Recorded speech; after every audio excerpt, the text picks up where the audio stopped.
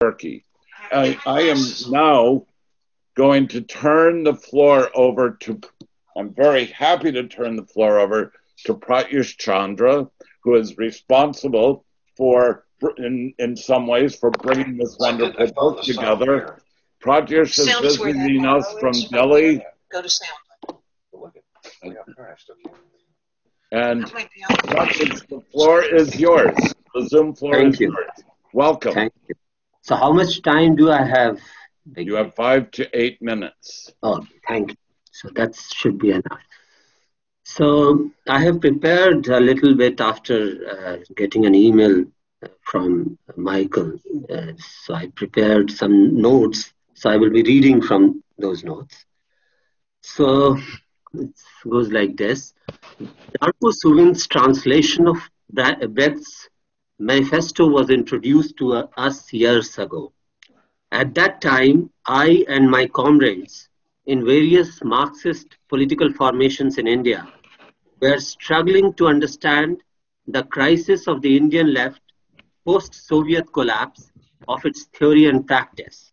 Obviously, the dominant tendency was organizational existentialism of defending the politico ideological forms that, despite their loss of appeal among the working class, somehow sustained through their productivization and instrumentalization in the larger bourgeois polity of India.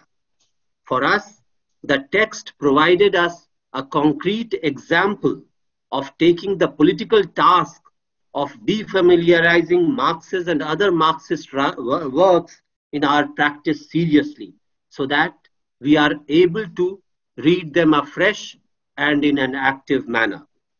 With regard to Marx and Engels' Communist Manifesto, there has been a continuous effort to reread them. In the prefaces that Marx and Engels wrote for various German editions and translations, they themselves reread the text in specific geographical and historical contexts.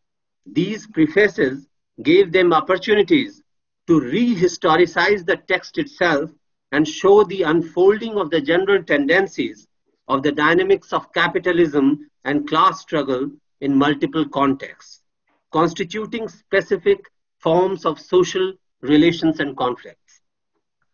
The various prefaces, along with innumerable commentaries that have been and are still being written, demonstrate not so much the timelessness of the ideas in the manifesto, but their timeliness. They flow with the flow of time. The manifesto is able to capture the rhythm and the constitutive essence of the capitalist space time and its subversion in the proletarian everydayness.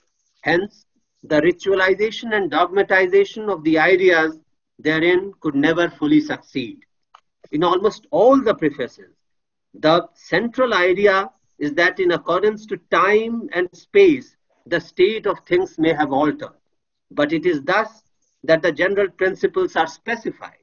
It is recognized that the practical applications of the principles are dependent on historical conditions. Hence, Marx and Engels, without any remorse, declared in the 1872 German edition that revolutionary measures enumerated in section 2 must be altered according to time and place. Similar was the case of section 4 about the communists' relations with other parties, which were in principle correct, but most of the parties had already been eliminated by the progress of history itself. However, one of the most important ideas in the prefaces, with significant implications for political theory and practice even now, comes from, the, from Marx and Engels' endeavor to integrate the lessons of the Paris Commune in their critical engagement with their own text. These lessons and the critique of the political economy that Marx pursued made them stress the organicity of the capitalist nature of state, which makes it unviable or even self-defeating for working class takeover in the transition beyond capitalism. In an incipient form, this understanding was already there in Marx's initial attempts to theorize the foundation and development of state while critiquing Hegel. Incorporating this idea in the prefaces must have been necessitated by Lassalleanism, other trade unionist and statist tendencies dominating the working class politics. The exercise of rereading is never complete with regard to such texts. And only in this exercise, it would be possible to revitalize its propaganda effect, as Bertolt Brecht once put in his journals. The task that he undertakes in his unfinished versification of the manifesto contained in this volume. What Brecht endeavors to do in this text is to defamiliarize the manifesto and demonstrate the vitality of its ideas to articulate mm-hmm. the horizons of hope and utopia that could be visualized from his ground. I think Darko's introductory essay on anti utopia in the booklet is very important in this regard as it shows how anti utopia technicizes utopian energy. The essay gives us a key to comprehend how the vision of the communist horizon is the only coherent antithesis of the ideology of anti utopia. As Darko says, radical utopianism is the only chance to fight anti utopia. In the end, I would like to reiterate an oft forgotten definition of communism that Marx gave. Communism is for us not a state of affairs which is to be established, an ideal to which reality will have to adjust itself. We call communism the real movement which abolishes the present state of things. The conditions of this movement result from the premises now in existence.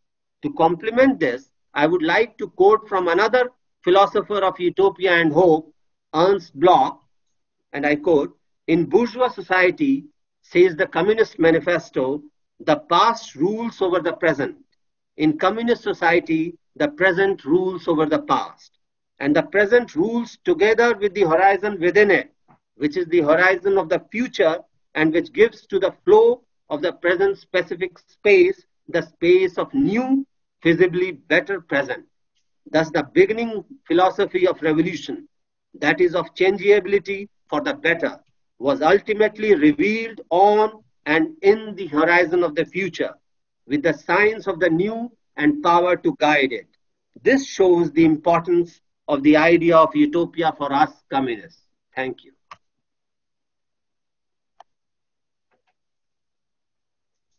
Thank you, Pratyush. Uh, and now, now we will hear from Niraj, uh, where I, I'm looking. There you are. it, it is your uh, moment to speak for five to eight minutes on your role in this book, Niraj. Welcome.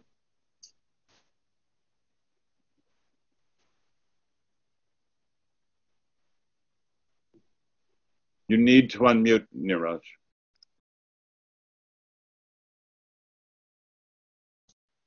Okay. Yeah. Sorry. it's really wonderful to be part of this great event. I'm going to read out some excerpts from Suvin's translation of Brecht's The Manifesto. Lines 1 to 14. Wars are destroying the world, and the ruins are visibly haunted by an enormous specter, not simply born of war. In peace, it could already be sighted terror to the rulers, but friend to the children of slums. In scanty kitchens, often it peeps, horrified, angry, into the ha- half empty pots. Often it waits for the exhausted in front of shipyards and mines. It visits friends in jails, passing without passport. Even in offices, it may be seen, and in lecture rooms, heard. At times, it dons a hat of steel, enters huge tanks, and flies with deadly bombers. It speaks in many tongues, in all of them, and in many, it holds its tongue. It sits as a guest of honor in hovels, a headache of villas. It has come to cho- change all things and stay forever. Its name is communism. Verse 47 to 50. For deeper and longer lasting than the wars our primers render are the wars of classes. open or secret, not for enemy cities, but for their own, ending only in revolution or in a joint downfall of the fighters, rulers, and ruled. Verse 203 to 206. But liberty, equality, fraternity, what happened to it? Freedom for the bourgeois to is to exploit people, say the classics. Equality before the law for the rich and poor to buy palaces or to be permitted to sleep under the bridge arches. Verse 219 to 244. Colossal crises recurring in cycles, similar to huge and blindly groping hands that grip and throttle commerce. Convulse in speechless rage, companies, markets, and homes. Immemorial hunger had plagued the world when granaries emptied. Now, nobody knows why we are hungry when they are too full. Mothers find nothing in their bare pantry to fill the small mouths, while the sky, while sky high mountains of grain rot behind walls. And while bales upon bales of cloth are warehoused, the ragged family, overnight kicked out of its rented home, wanders freezing through emptied city quarters. He who cursed exploiters now cannot find exploiters. Ceaseless was his work, ceaseless is now his search for work but the gate is locked. Alas, even hell functions no longer. Where now? The giant edifice of civil society, built with so much exertion by so many sacrificed generations, sinks back into barbarism. Not the too little is threatening, the too much makes it totter. The house does not exist for dwelling, the cloth for dressing, nor the bread for stilling hunger. They must bring profit. If the product, however, is only used but not also bought, since the producer's pay is too small, were the salary raised, it wouldn't pay to produce the commodity. Why then hire the hands? For they must produce at the workbench more than a reproduction of worker and family if there's to be profit. Yet, what then with the commodities? In good logic, therefore, woolens and grain, coffee and fruits and fish and pork, all are consumed by fire to warm the god of profit. Okay, thank you, Niraj. We are uh, now moving on. Just a little bit more. Just a little bit more. I've cut it down quite a lot. These are verse 383 to 402. The ruler's rule was always founded on the fact that the ruled could somehow live from the toil. Their exploitation was sure. But now the bourgeoisie can manage no more to ensure a servile life to their serfs. Instead of feeding off its proletarians, now it must feed them. It needs to employ them but has no employment for them, and yet lets their numbers swell, and dehumanization wins, marking the victims and victimizers. Chaos results from the bourgeoisie's plans. The more plans, more chaos, and lack is born from production. Wherever it rules, death dealing to the vast majority, no longer can society live under its rule. The new class is ra- it raised, the proletariat will bring it down. It raised itself the giant hands that dig its grave. The vast majority is in this movement, and when it rules, this is no longer ruling, but suppression of rule. Only oppression shall here be oppressed. The proletarians, lowest level of society, must, in order to rise, smash into pieces the whole social structure with all its upper levels. The workers may break their own class chains only by breaking the chains of one and all. I couldn't end with the anti utopia. I had to end with the, the hope that uh, Brecht and Marx ends with, and Darko. Thank, Thank you, Niraj. We will be having another reading from the poem in a few minutes, but now we will hear from Christopher Winks, who has uh, uh, joined us today from uh, Queens and uh, is going to make his commentary. Go ahead, Christopher. Thank you very much. And first of all, uh, many thanks to uh, all of you, to the Marxist Education Project, to everybody in attendance, to Michael for inviting me, and also um, for Darko Suvin and his really uh, magisterial translation of Das Manifest, Bertolt Brecht's unfinished poetic adaptation of Marx and Engels' 1848 Communist Manifesto. The drafts were done almost uh, 100 years following the publication of that manifesto. And it's worth noting that in one of the later editions, Engels talks about all the translations of the manifesto that uh, um, were put out you know, and uh, the first one in English, I just want to give a shout out to Helen McFarlane, who was also a Hegelian, incidentally, one of the first uh, people in Britain to write commentaries on Hegel. She was the first translator of Marx's manifesto, and there were several other English translations as well. And uh, the test of any great text is that it uh, be subjected to uh, multiple translations. Indeed, there is no definitive version of this Brecht poem, as Darko says in his uh, commentary. Um, he it's I, I, would hesitate to use the word cobbled together because uh, you know he did make some changes. He put from different variants and he put this uh, together um, in terms of uh, you know taking a line here a line there. So it's sort of uh, as well as being a, um, a translation it's also to some extent an original creation, as in fact I believe all translations tend to be. Um, the transmutation by Brecht of Marx's uh, Marx and Engels' manifesto. Um, it's interesting because Sergei Eisenstein wanted to make a film of uh, Capital.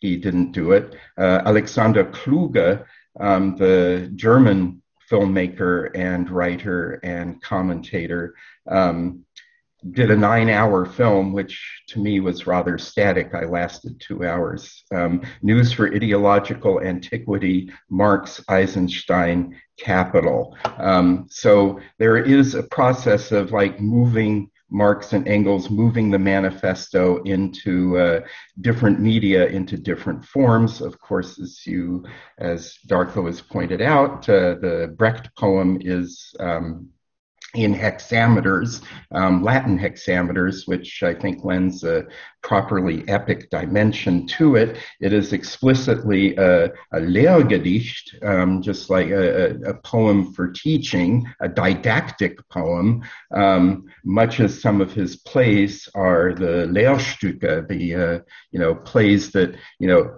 teach a lesson, right? I won't say preach a lesson, teach a lesson. Um, this particular adaptation was inspired by Brecht's ongoing discussions with the uh, heterodox Marxist theoretician Karl Korsch. Um, and uh, Korsch, in many respects, was uh, um, Brecht's teacher. Uh, he acknowledged Korsch as such, and uh, he wrote an affectionate yet not entirely uncritical poem about uh, Korsch, who, you know, if any of you have read Marxism and Philosophy, and his study on Karl Marx was, uh, you know, very thorough critic of Second International um, pseudo socialism and uh, also of Leninism. So uh, it's very interesting to you know think of Brecht as in con- as in pretty regular conversation with Korsch. Now, um, one of the most interesting commentators on Brecht is uh, Walter Benjamin, and uh, um, in preparation for this presentation, I looked at his conversations with Brecht, which are from his diary, and they're from 1934 and 1938 when both were in uh, Norway. And you can find these in uh, um, Understanding Brecht, a collection of uh, Benjamin's writings on Brecht. And uh, there are several points that are made here. Um, because Benjamin also, as you know, was uh, somewhat of a heterodox Marxist, and uh, um, which I think is the only way to be, but uh, that's my thing. Um, uh, he already in 1934, Brecht was contemplating doing um, a didactic poem, and uh, um, he's Benjamin writes, in the course of the conversation, I tried to explain to Brecht that such a poem would not have to seek approval from a bourgeois public, but from a proletarian one, which presumably would find its criteria less in Brecht's earlier, partly bourgeois oriented work than in the dogmatic and theoretical content of the didactic poem itself. If this didactic poem succeeds in enlisting the and enlisting the authority of Marxism on its behalf, I told him, then your earlier work is not likely to weaken that authority. Um, I think that's a very uh, valuable comment. Um, Brecht, in his conversations, uh, shows himself to be a very harsh critic of what really existing, in parentheses, Stalinist socialism is. There's a very funny moment where uh, um, he says, uh, and according to Benjamin, he hints that those who have appropriated the theoretical doctrines of Marx and taken over their management will always form a clerical camarilla. Marxism lends itself all too easily to interpretation. Today it is 100 years old, and what do we find? At this point, the conversation was interrupted. The state must wither away. Who says that? The state. Here he can only mean the Soviet Union. He assumes a cunning, furtive expression, puts himself in front of the chair in which I am sitting, he is impersonating the state, and says with a sly, sidelong glance, very Brechtian, at an imaginary interlocutor, I know I ought to wither away. um, so, you know, you can see that Brecht is turning all these ideas around in his mind. Um, and some of that is certainly there in this 1945 uh, manifesto because you will notice as you read it, there is no mention of any vanguard party. There is no mention of any really existing socialism. The conclusion of the poem, which to my mind, the beginning and the end are the strongest uh, elements, the uh, part that Pratyush read about the specter of communism. In a way, this is an expansion of Marx's uh, um, Marx and Engels's manifesto, and as such, it's uh, you know it stands or falls sometimes on its uh, um, merits and its applicability. I mean, and uh, I think that uh, um, following the Brechtian maxim, which concludes Benjamin's conversations, don't start from the good old things, but the bad new ones so from the bad perspective of the bad new ones, I just wanted to offer in conclusion a couple of critical remarks about uh, Brecht's manifest.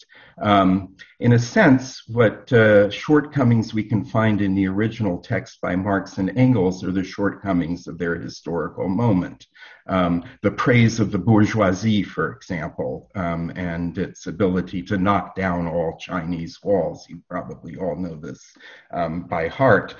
But I think in the, although he, Brecht definitely uh, denounces the war makers, and he has some very eloquent words in his discussions with uh, um, Benjamin about this. Um, there is still a kind of hymning of the praise of the uh, bourgeoisie, which tends to eliminate certain factors in the rise to power of this bourgeoisie internationally.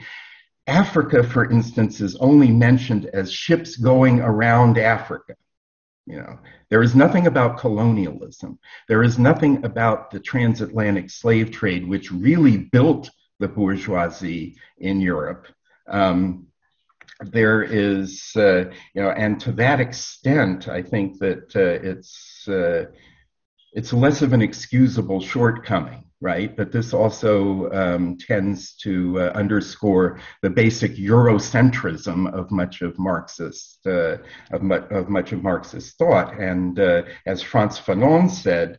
Um, Marxism, Marxist theory always needs, and I'm paraphrasing here, to be somewhat stretched when talking about the colonial problem. And I think that stretching is a task of the uh, um, the bad new days too, as well the ecological concerns. Um, you know, I just remember Brecht say it's a crime to write about trees, you know, in certain times. Well, right now it is not a crime to write about trees in a period of massive deforestation. So uh, that's one way in which we need to correct the fact that the bourgeoisie may have had a dynamic role, but it has also had a profoundly destructive role on the uh, on the environment and uh, on the world. And I think now we can step back and see that it doesn't deserve that kind of praise. I wanted to conclude by uh, um, pointing out again the importance of the very ending, which is, uh, um, you know, in a way you sort of see uh, the uh, um, fumbling around here because I have Xerox copy. Yes, here um, talking about the, I think uh, uh, the proletariat will bring it down. It raised itself the giant hands that dig its grave, namely the bourgeoisie. The vast majority is in this movement, and when it rules, this is no longer ruling, but suppression of rule. Only oppression shall here be oppressed. The proletarians, lowest level of society, must, in order to rise, smash into pieces the whole social structure with all its upper levels. No longer ruling, but suppression of rule. Now, several years after this, Brecht would write a paean to Lysenkoism. So you see, it's a, the the growing of millet. It was so you know Brecht himself is uh, sometimes very slippery on these things. But in 1945, at the end of the war, you know there was this. He, he was uh, clearly showing that you know what we need when we write this kind of poem, and we have it as a didactic purpose, is for the um, workers to relearn, in fact, their position and to reapply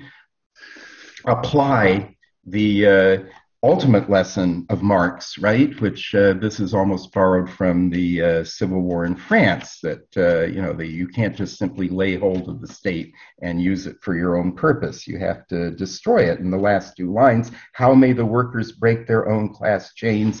Only by breaking everybody's chains. So, with that, you know, wonderful conclusion, I will cease and. Uh, I thank you for your attention, and I am now going to um, introduce uh, Paget Henry, who is somebody whose work I've been reading for many, many years. I particularly want to point out uh, his uh, book, Caliban's Reason, which is one of the most important uh, philosophical texts. Um, of the past uh, several decades. He is a longtime scholar, a longtime activist, and uh, you know he, he's somebody I, I, have only you know I've only the utmost respect for, and uh, you know I am now going to you know turn the floor you know gratefully and humbly over to him. And again, I thank you for your attention.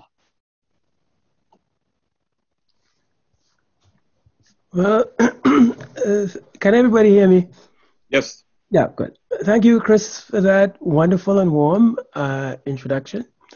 And uh, my thanks to uh, Michael Lardner and all of the others uh, who have put this uh, wonderful, wonderful occasion together.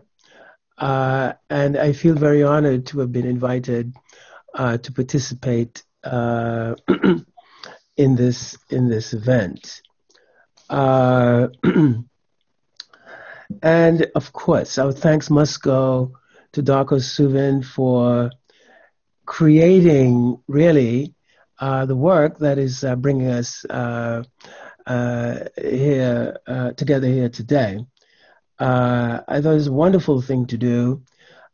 great job, and the, the work uh, just made me, and I think it should make all of us, uh, really rethink in subtle and creative ways the nature of poetry and its relations to the poet uh, and to the society uh, of the poet.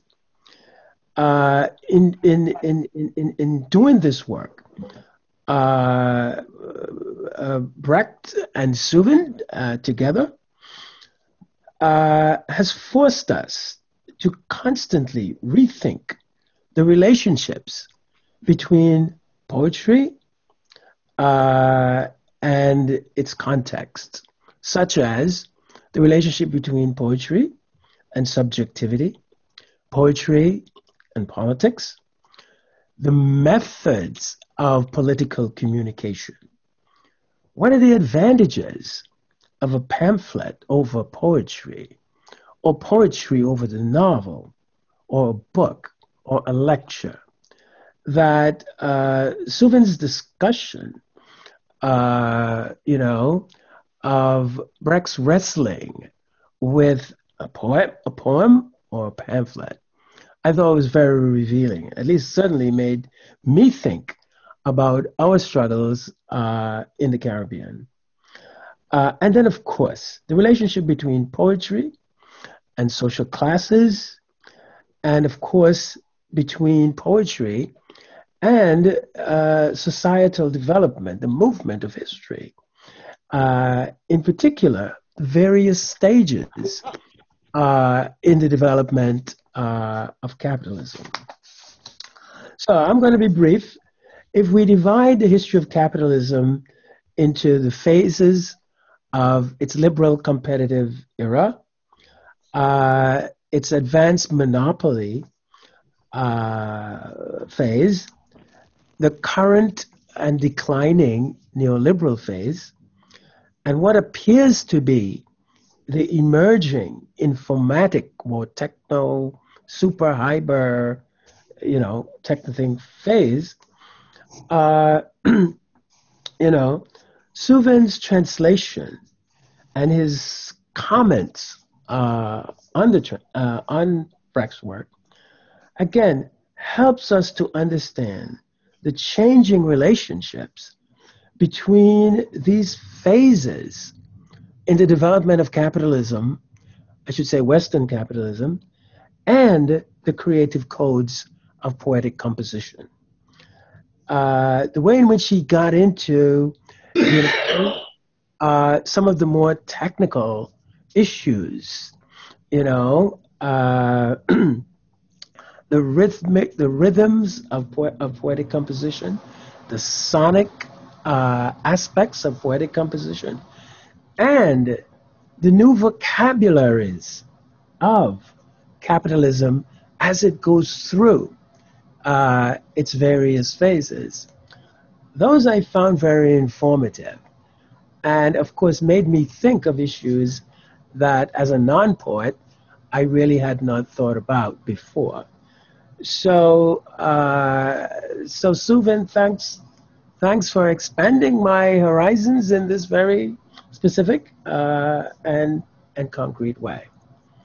So, setting uh, this view uh, of poetry and, and, and, the, and, and the changing stages or phases, I should say, of, of Western capitalism, uh, setting them against your excellent discussion of utopia, anti utopia, and dystopia, to me, opened up uh, just some new vistas for exploring, again, the relationships between uh, poetry uh, and the changing and, and, and, and capitalism. It's, it really made me think about our poets in the Caribbean, uh, our poets, particularly of the 1940s, uh, trying to grapple with the colonial face of Western capitalism. In particular, I thought about the struggles and the tensions between the negritude poets and the non negritude poets. uh, and how all of this intersected with Marxism uh, in, in, in, in, the Caribbean uh, in the 1940s.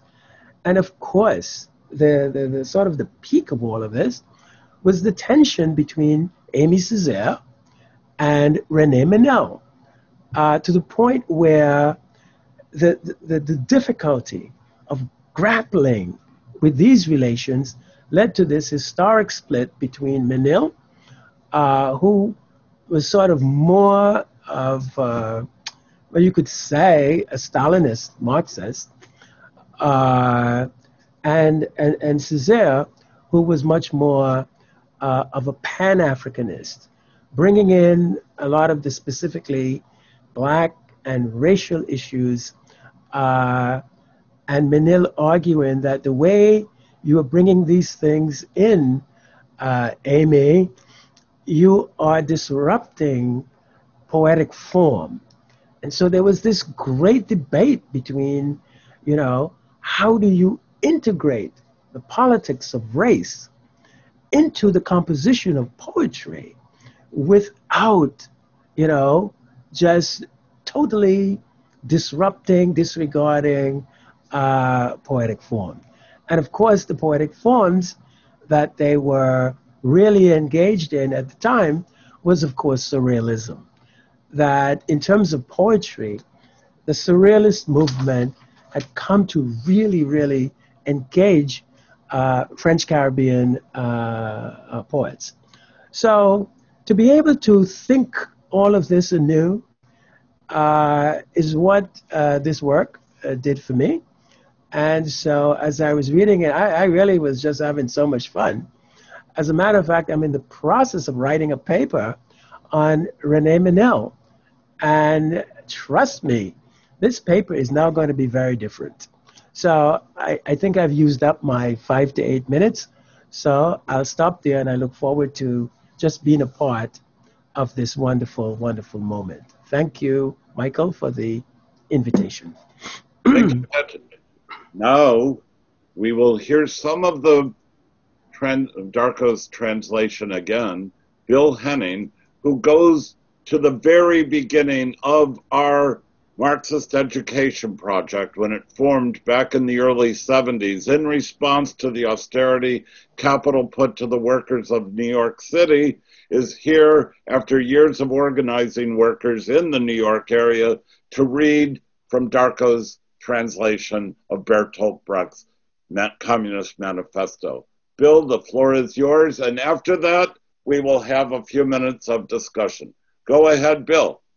Thank you, Michael, and thank you to the MEP. It's, a, it's an honor to be with all these uh, scholars and thinkers and doers uh, around the world.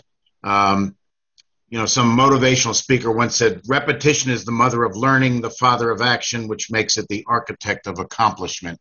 So some of this is going to sound familiar to you, but I think you'll bear with me. Wars are destroying the world, and the ruins are visibly haunted by an enormous specter, not simply born of war. In peace, it could already be sighted terror to the rulers, but friend to the children of slums. In scanty kitchens, often it peeps, horrified, angry, into the half empty pots. Often it waits for the exhausted in front of shipyards and mines. It visits friends in jails, passing without passport. Even in offices, it may be seen, and in lecture rooms, heard. At times, it dons a hat of steel, enters huge tanks and flies with deadly bombers. It speaks in many tongues, in all of them, and in many it holds its tongue. It sits as a guest of honor in hovels, a headache of villas. It has come to change all things and stay forever. Its name is communism.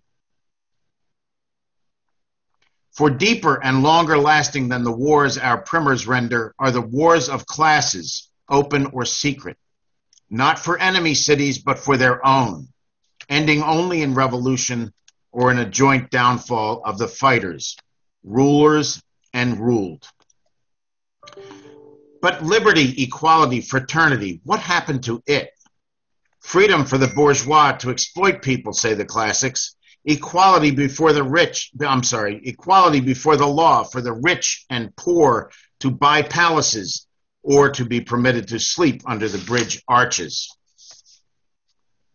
Colossal crises recurring in cycles, similar to huge and blindly groping hands that grip and throttle commerce, convulse in speechless rage companies, markets, and homes.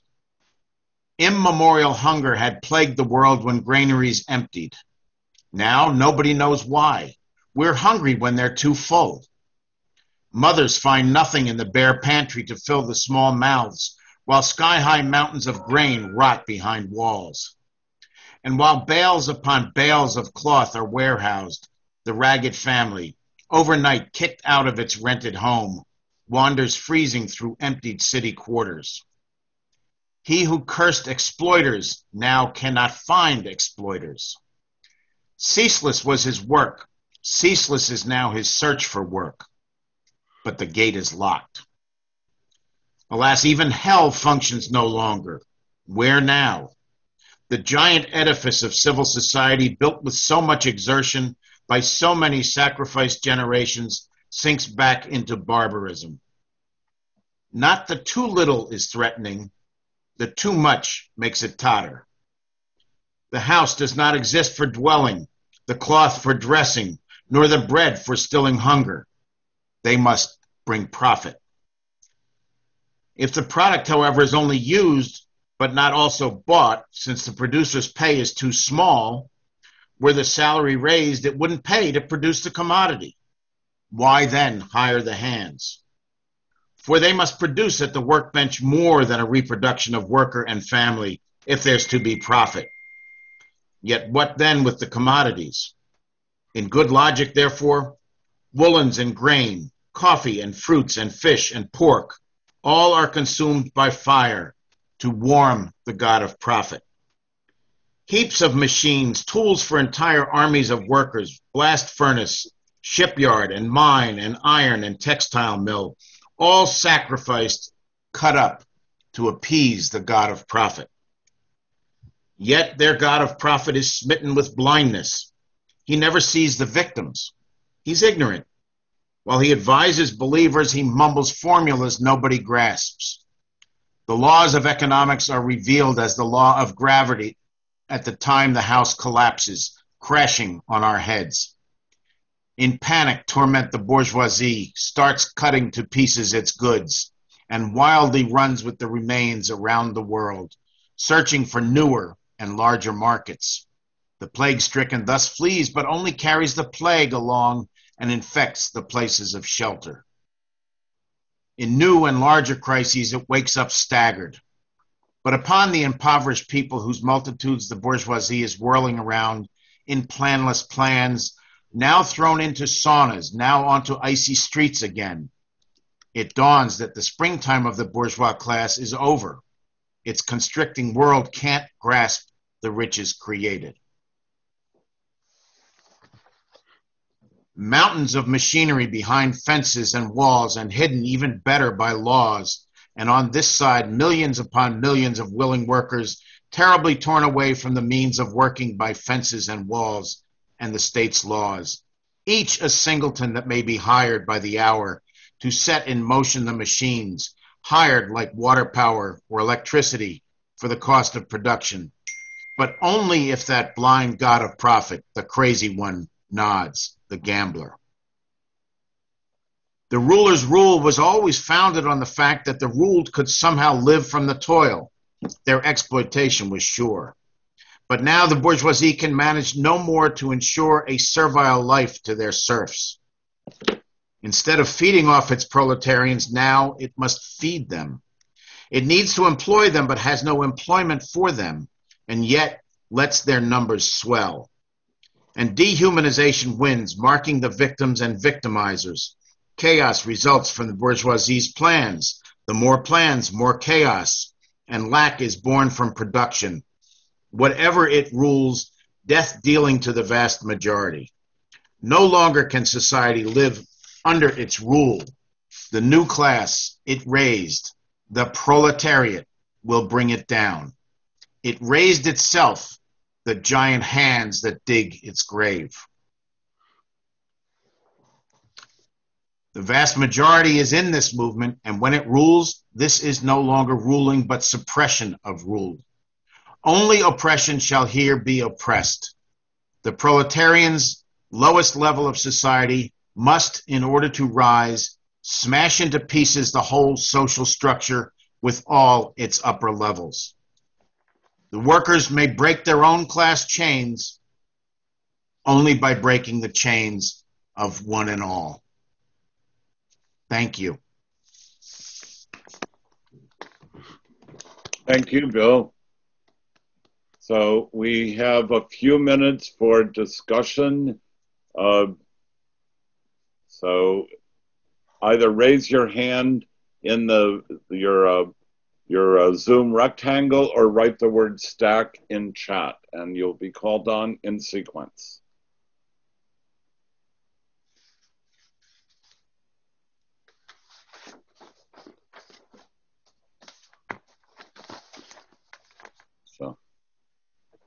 Uh, you have raised your hand. Go ahead. Yes, and uh, I uh, just wanted to really uh, say, you know, what what what what this means for capitalism and poetry today, and uh, for me, uh, you know, the the rise of the neoliberal era, and the fact that in the neoliberal era it's as though poetry was replaced by uh, uh, poetic deconstruction. That the rise of post structuralism and the deconstructive use of poetry, the relationship between uh, poetry, I should say poetics, not poetry, but poetics, and it, it, it's, it's critique of, of classic Western rationality, uh, and how that came to dominate the academy uh, is, I think, an interesting extension. Uh, if I understand uh, Suvin's analysis uh, correctly. And uh, so it really helped me to understand the popularity of uh, you know, poetic uh, deconstruction and the role of poetics in uh, the popularity of, of, of, of, the whole deconstructive turn uh, throughout the, the phase of, of, of, of neoliberalism. I think that the decline of neoliberalism is also the, the decline of this post structuralist appropriation of poetics. And so we have to look forward now to this super high tech, computer driven, I call it informatic capitalism that we are confronted with. And so, what, what is poetry going to be like uh, in this coming era? So, these are just some thoughts. Uh, I had, and so I would just throw them out, uh, you know, and, and, and see, you know, what what they add uh, to to our coming together. Thank you, uh, Paget. Um, would you have anything to say to that, Darko, at this moment? Uh, first of all, my image has frozen. Can you hear me? Yes, you are very Okay, clear. I apologize. I fiddled with the camera and now it's frozen. Anyway, um, well, first of all, I wanted to say at the beginning that I'm very grateful. I shan't uh, repeat all of your names, but to all the readers and the people who intervened here, uh, and especially, of course, to people who helped to bring the book out, uh, and uh, my ex-students, uh, Niraj and Javed Malik. Um, I am very happy at uh, this discussion because it brings us uh, obviously one could go on uh, an awful lot, but I don't think this is the place for it about poetry and what I call poetry and doctrine. Um, but I would like to talk only about why we are, we are here to discuss it. It is because we feel a need for orientation.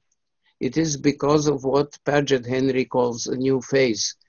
Uh, I would call it something like uh, the new surveillance society, which then obviously uses computers uh, and Silicon Valley as its as its basic props. Um, we are, in my opinion, and I'm getting into the second part of our discussion here, but maybe this is good.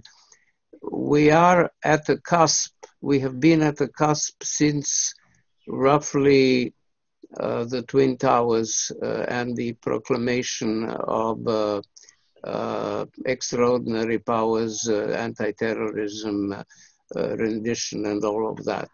We're at the cusp where um, I think capitalism is actually mutating into something the nearest analog to which is fascism, but it's obviously not the classical fascism, but some uh, in, in in computer lingo fascism 2.0 or maybe 3.0 or God knows what. Um, a lot of zero, say, that's for sure. yeah, yeah.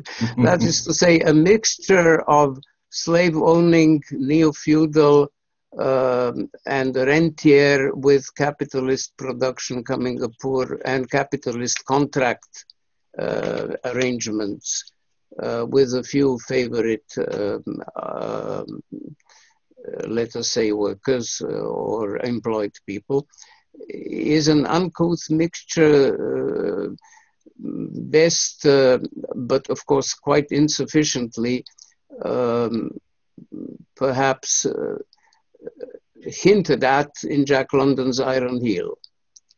Centuries of dictatorship and fight against it. Obviously, whether they will be centuries or not, we don't know. The technologies have changed, the psychology has changed, and so on. So we are at the cusp of something totally new, and the point is, what can we salvage from a very wide, deep, and important tradition of left thought? Okay. Now, never mind the great ancestors, Milton and Marat and all, so on. Let's just uh, stop at uh, people like Marx and Kropotkin and uh, a few more. Uh, certainly, Lenin is there as a great ancestor, to my mind, uh, if handled critically. And Brecht was facing the same problem in um, 1944-45 Germany. He wrote news from Germany terrible. The Soviet armies at the borders, no workers uprising. He thought the workers couldn't rise up because the Gestapo was terrorizing them. Now the Gestapo is at the front fighting the Soviets. Why don't they rise? Obviously, he was he was misinformed and wrong. Um, how do how do I help this was touched on by discussants. How do I help people to estrange, to defamiliarize, to verfremden the uh, Marxism which is no longer read by the working class as a pamphlet, although it was a great poetic form in prose of its own, adds Brecht. Um, the, the key, the key uh, sentence that struck me when we had those wonderful readings by Bill Henning and Niraj too, is alas, hell works no longer. Even hell functions no longer. This is where we are at, more or less, I think. Um, obviously, what could one say about Brecht's 1944 to 51 tinkering with we could say uh, one thing I quite agree that uh, I, I, wrote about this somewhere. The praise of the bourgeoisie is the praise of um, a guy from the Rhine Valley hating the Prussian king and the neo-feudal um, stupidities of the Prussian um, state. Uh, we are not there anymore. And what we see is not that the praise of the bourgeoisie was wrong, but it was one sided and historically limited to the phase, let's say, in France up to 1848 and in England and in other countries up to later. And the second thing that nobody mentions here, uh, but um, I have problems to begin with poetical ones, but then also ideological ones with proletarians. Uh, I am in favor, I'm, as all good Marxists, I'm a conservative. I am in favor of conserving it, but only if one reinterprets it. In other words, Marx meant by proletarians more or less, I think, the industrial workers. This is no longer tenable. Much industry has been deconstructed. Of course, industrial workers are there in spades in China, and that's another whole huge discourse and in the rest of Asia and in uh, the South in general. So we have to figure out uh, if we want to use this tradition, uh, what are, as Titoism had it, the working people, which I rather like as a syntagm. If you think proletarians today means working people, then I think proletarians in the Communist Manifesto can still be used. And I will stop here. With thanks to everybody. This was good to hear. And of course, uh, what you should, uh, what should be said is that there is also a whole book published by Political Animal Toronto of mine called Communism, comma, Poetry. So if you're interested in this uh, syndrome, uh, please go and look at it. Thank you, Darko. I, I think that at this point we will move to Mary's reading and uh, to move our program along, which is looking at the, the coronization and anti-utopia. And Mary, uh, I'm calling on you. And, and I should say, Mary Boger like Bill Henning, goes to the very beginning of what is now the Marxist Education Project.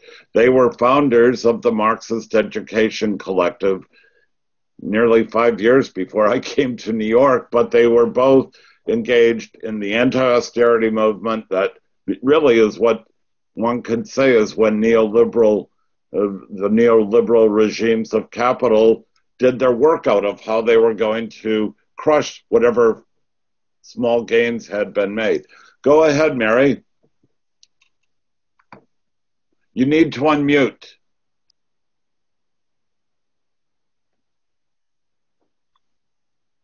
Yes. Okay. Can everybody hear me? I think I'm going to have to speed up a bit because our time is getting very um, short.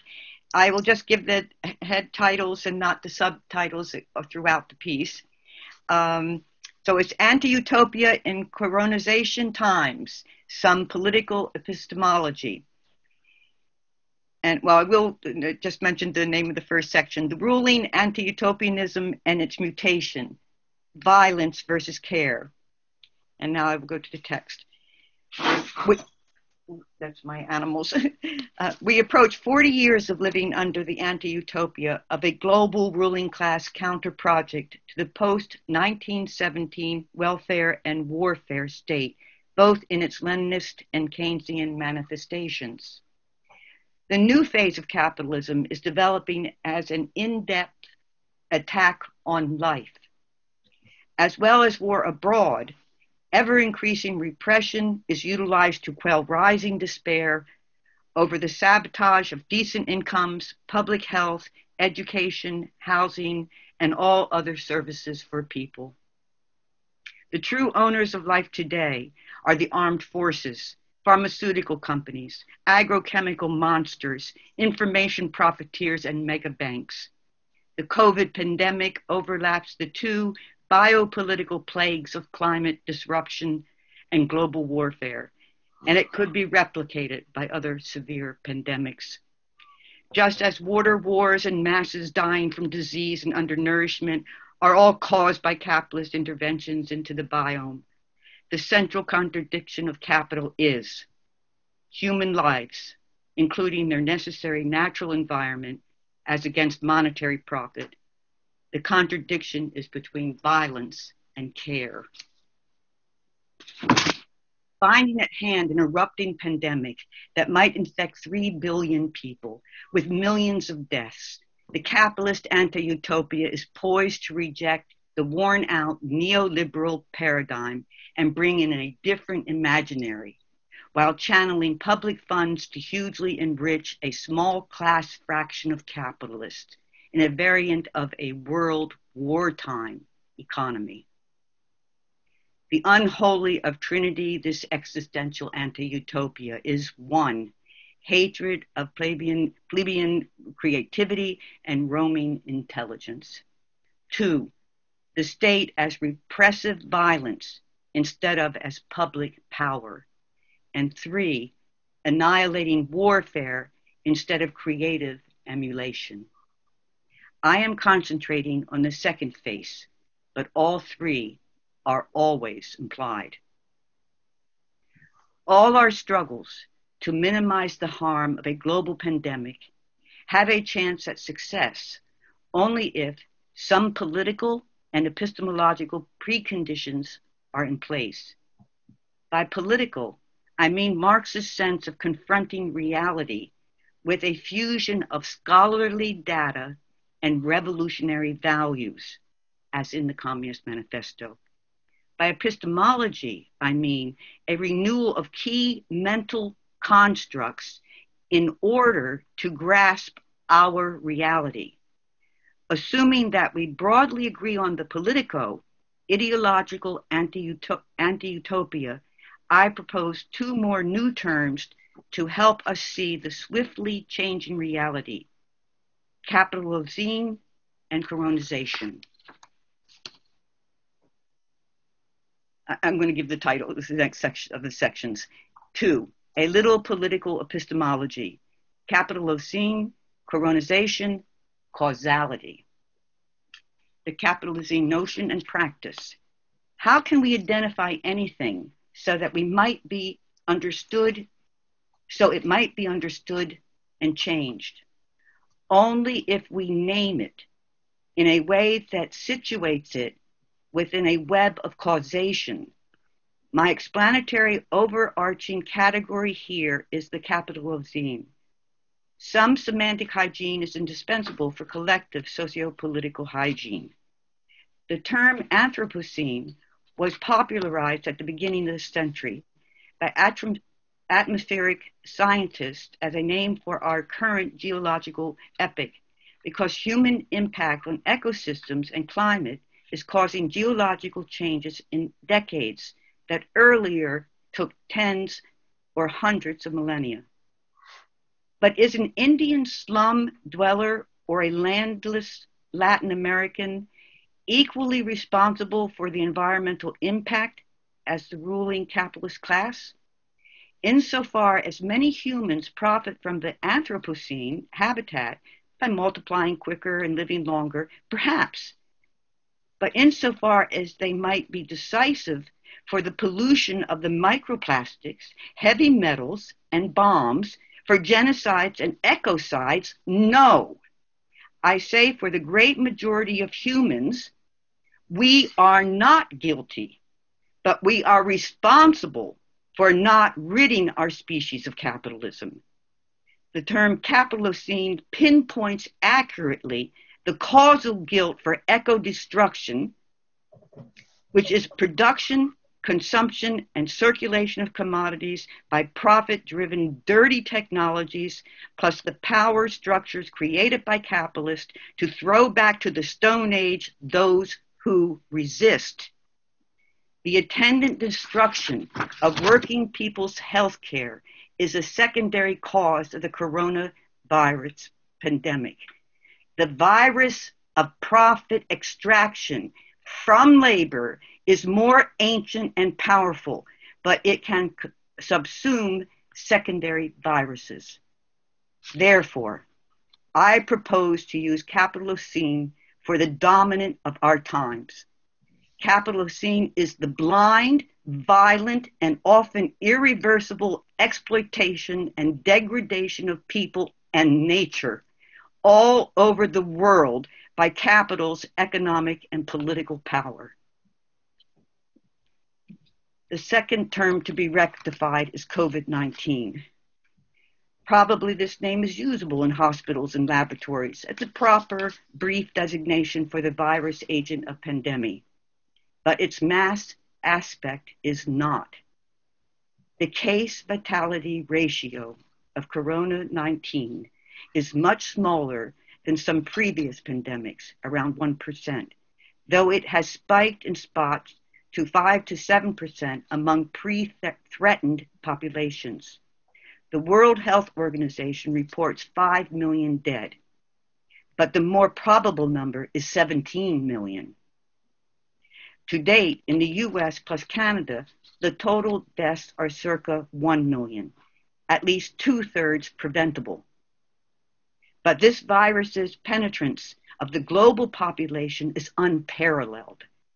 This is in part due to the SARS CoV 2 rapid incubation period and in part to the cap- capitalist globalization and its huge and rapid movements of goods and people, usually ecologically harmful, yet profitable.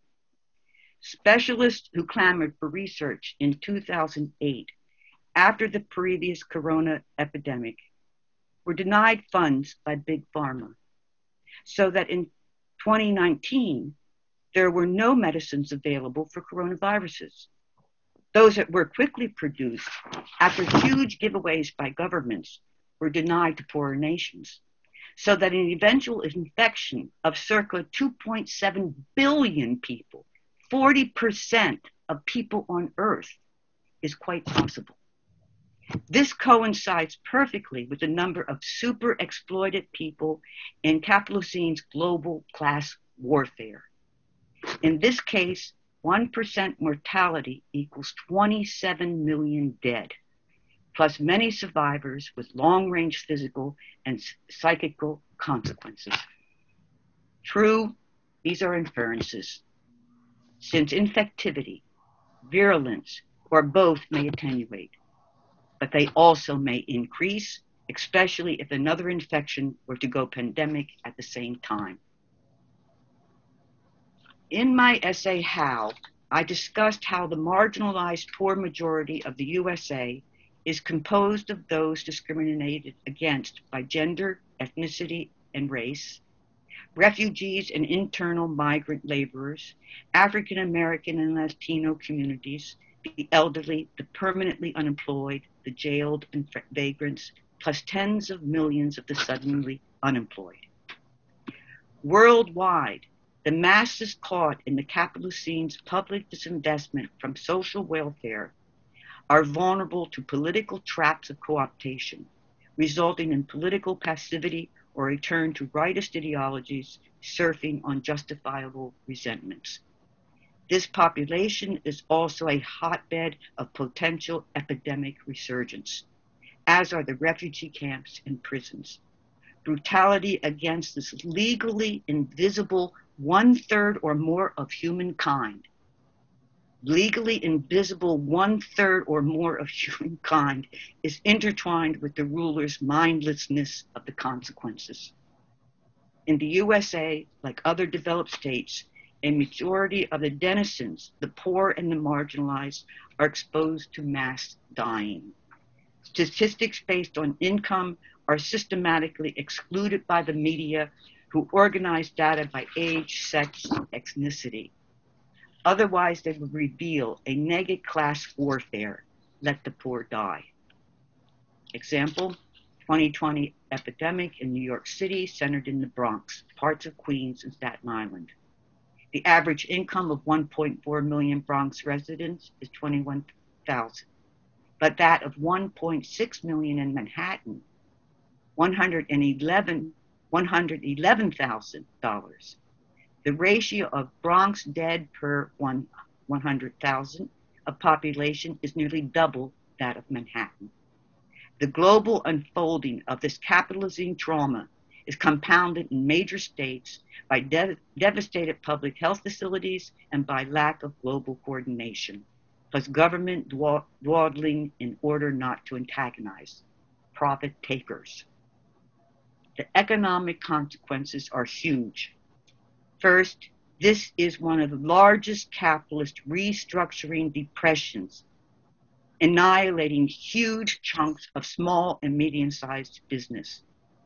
But the wealth of the 2,189 US billionaires increased by 27.5% between April and July of 2020, with a record high increase of over $10 trillion. dollars. In the first year of the pandemic, the economic cost of the transfer of U.S. federal government stimulus to big capital alone will likely be found to surpass the cost of World War II. The overarching social uses of this pandemic has to do with which classes will bear the costs and which will have profits soar. The compartmentalized term COVID 19 pandemic suggests that the people who are mainly dying of and paying for the disease should not question how these costs are being borne. The term enlists the authority of natural science to silence the overwhelming plebeian majority. Therefore, I propose we use the term coronization. This suggests that our plight is not simply the domain of medical lingo, that it is not the result of somebody's activity, that it is, pun intended, the crown of some foregoing state or stance. Coronization means an infectious virus meets social Darwinism. The cause of the COVID 19 pandemic. It's agribusiness, stupid. Rob Wallace's important 2016 book, Big Farms Make Big Flu, unmentioned in most of the zillion articles since 2020, provides the only causal theory extant of, inter- of interconnection between agribusiness and epidemic dangers. Quote, there are no capital free pathogens at this point, unquote.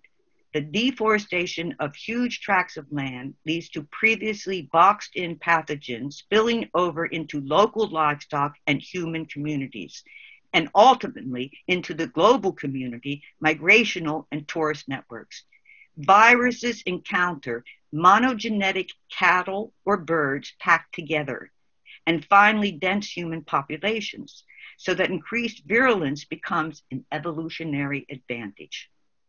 This quote offers the exact means by which pathogens can evolve the most virulent and infectious phenotypes.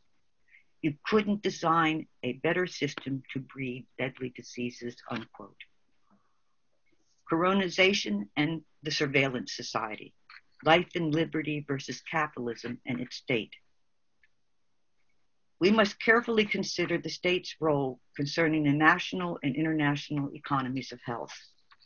The gigantic failure of austerity, austerity healthcare leading to shoddy care for the masses of people as opposed to excellent private medicine for the rich is obvious. It seems clear that a system of multiple institutions for the well being of all people, underwritten by the national and international community, is indispensable. It is a clear case for global communism. Successes of state centralization, such as keeping a pandemic in bounds should not lead us to cheer on the ruler's power. And most of them, a dictatorship of capitalist interest obtains. Key to the politics of such demands as we must make of the state is never trusting the state of which we make them. The present discourse pivots on scientism in its medical variant inevitable progress from the virus peril to the triumphant salvation by vaccine, and in between, recourse to military discourse necessary to control and confine people. Such control can be manipulated by the ruling classes to create, create a state of siege for billions of people, but not for their sources of profit. It is it easily turns into a sanitary leviathan, melding benevolent and malevolent, melding beneficent and maleficent, malef, I'm sorry, um, maleficent state intervention with hyper surveillance. We see our rulers rushing towards a complete surveillance state. The only answer to that is pressing from below a strong plebeian democracy, including free access to mass media for citizen groups and democrat, democratic vigilance, including careful monitoring of surveillance in health services, an association of producers, medical practitioners, and producers of medications and equipment, and consumers, patients. My consumer, quote, my consumers, are they not my producers? asked James Joyce. To technological militarization, working people must oppose the horizon of solidarity, plebeian power, and red green New Deal. Four, radical utopianism, utopianism, the only chance to fight anti utopia. To revolt with critical utopianism is healthy. A precondition for opposing this looming tyranny is a confluence of plebeian and utopian energies. Working people might begin to claim power for themselves. In the USA, there were widespread to- protests against racism and demands for the equipment and sanitary conditions essential workers need to stay safe. Some examples I found up to August 2020. New York teachers and Philadelphia librarians forced their systems to shut down. Detroit bus drivers and riders won free fares and safety of the drivers. Auto workers have launched wildcat strikes to stop production completely while maintaining full wages. Shop floor action forced Amazon warehouses to accept social distancing. Verizon and McDonald's workers at some locations secured paid sick leave housing movement activists have won moratoriums on evictions and or utility shutoffs from New York City to San Francisco.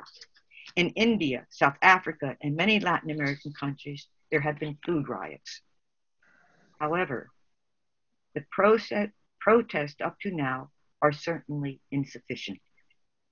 The degradation of social democratic parties and labor unions in the 1980s accomplished what fascism bloodily enforced in the 1920s and 30s.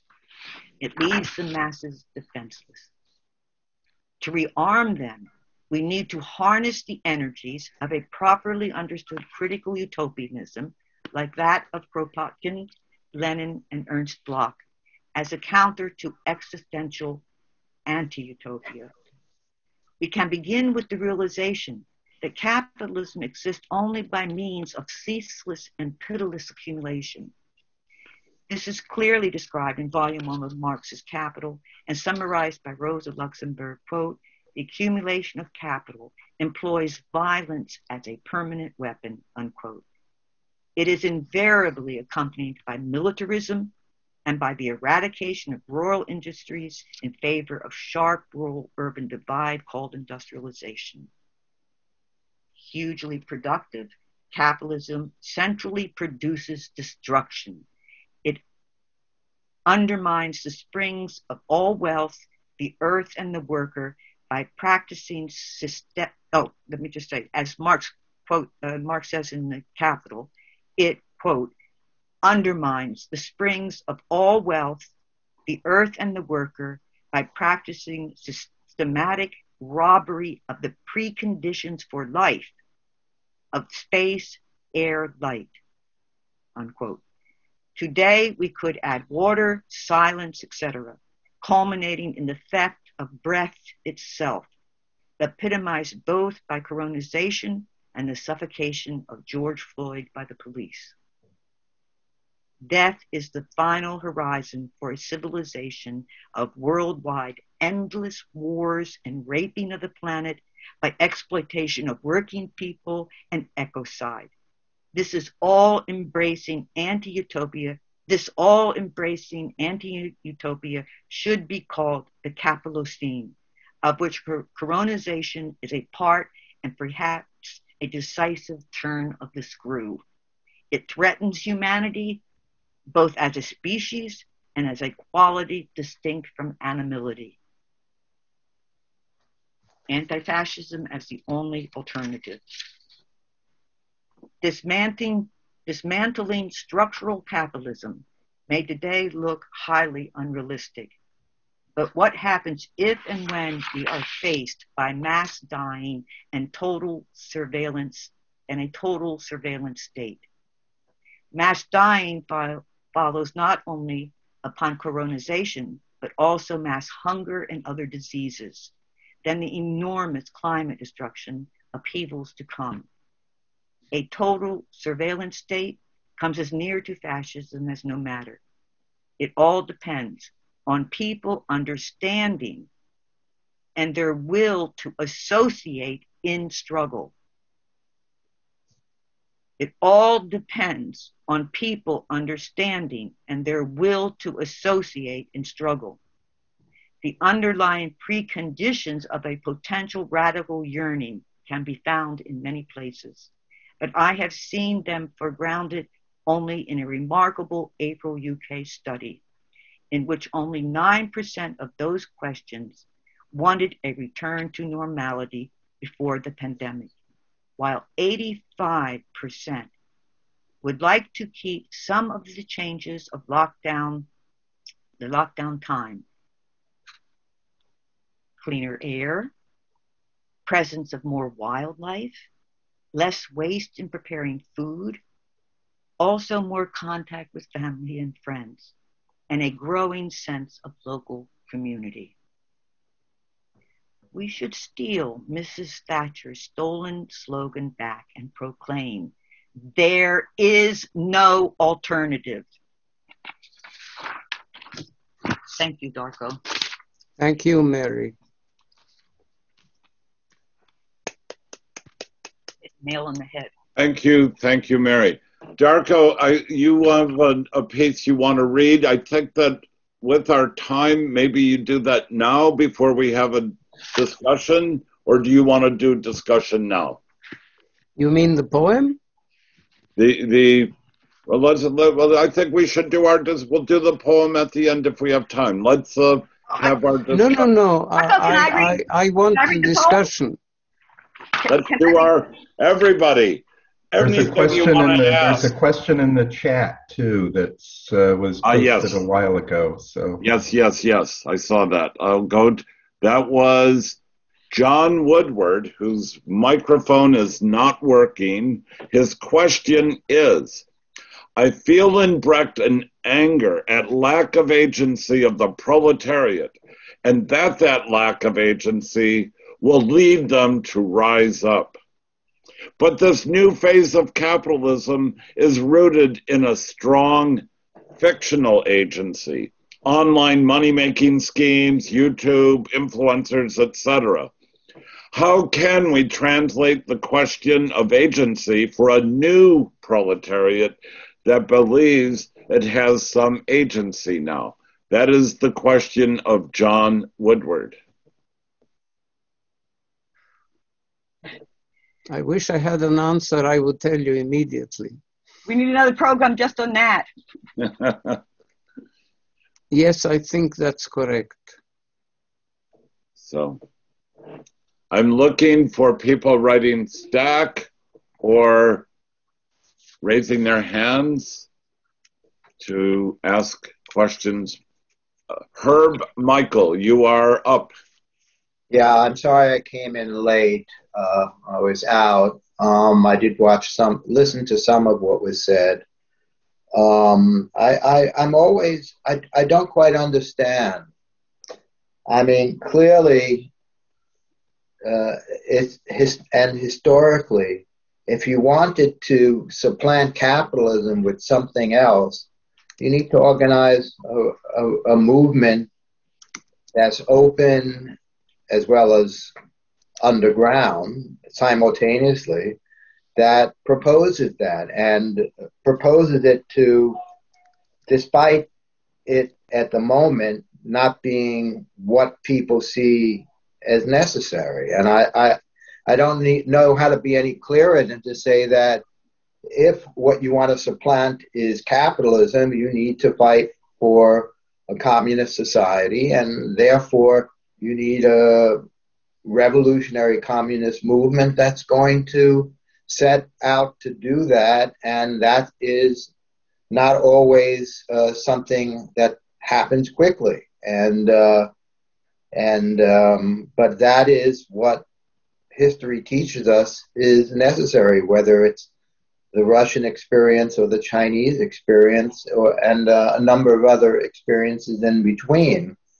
What usually does happen, though, is that liberal ideas are used to lead the movement, and the movement doesn't take a hold. The movement towards replacing capitalism doesn't take a hold uh, within the working classes and the peasantry. So, uh, you know, I, I, I think it's always important to direct the conversation back to uh, egalitarian communism and, uh, and the need for a movement to create it. Uh, and uh, accept the fact that at first it's not going to be popular. When has it been?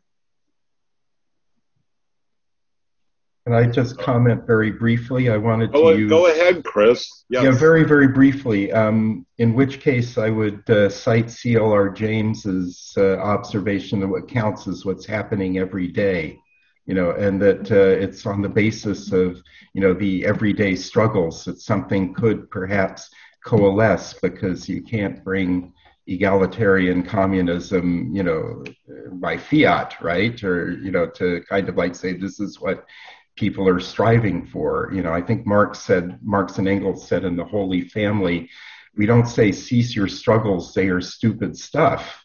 You know, they, say that uh, what matters is uh, what the proletariat is and what it's capable of. And uh, that uh, if you take the Jamesian approach of looking for what is going on on a daily basis, then perhaps it might be a way towards a more um, you know utopian way of uh, thinking and uh, of uh, acting right? Uh, you know what, what what I would call the what Bloch called the uh, you know to think you know of utopia in a non-utopian way you know to see that as it can be achieved rather than you know somewhere out there. I just wanted to add to it uh, you know to Herb's very cogent comment